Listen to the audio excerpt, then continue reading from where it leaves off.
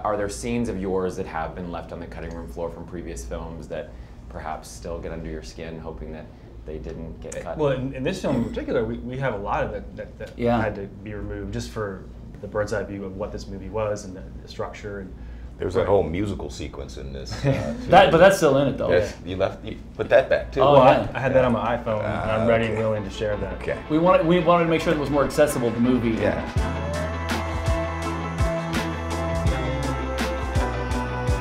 I think one of the the themes of the novel and of this film is of a difficult and dark redemption, and that requires a crucible.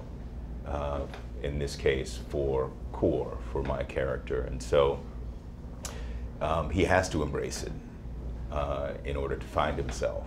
The narrative for, for, for Vernon is um, it's relentless and it's a pursuit. It's about vengeance and it's uh, unapologetic. He's very very focused and he's very determined. It's almost a an atavistic quality to him. He's an, an animal. He, he, he doesn't view taking a life as a big deal. And I needed to find, it was important for, for, for well, for us to find um, depth to the character, to give him some depth and there's a, and, and, and to understand the meaning of, of what this, his son meant to him. What we had was a script that was um, incredibly um, cinematic and lyrical, but as Jeremy described, sparse and efficient, and it had um, it had uh, an architecture to it that I just found really riveting.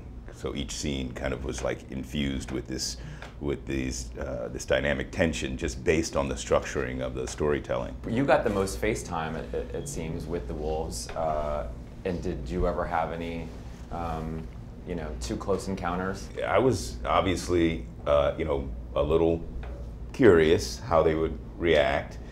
But the weird thing was, you know, in, I'm often wearing this big caribou suit, and uh, you know, I came out the first time in the suit, and I'm thinking, are they gonna think that this is like caribou lunch, you know?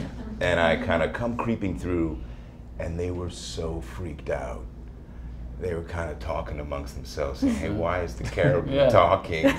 Uh, what and why and what's the gun thing in his hand?" They were totally freaked out by this unusual, like caribou-like animal that had come into their space, and they didn't. They wanted to get the hell out of there.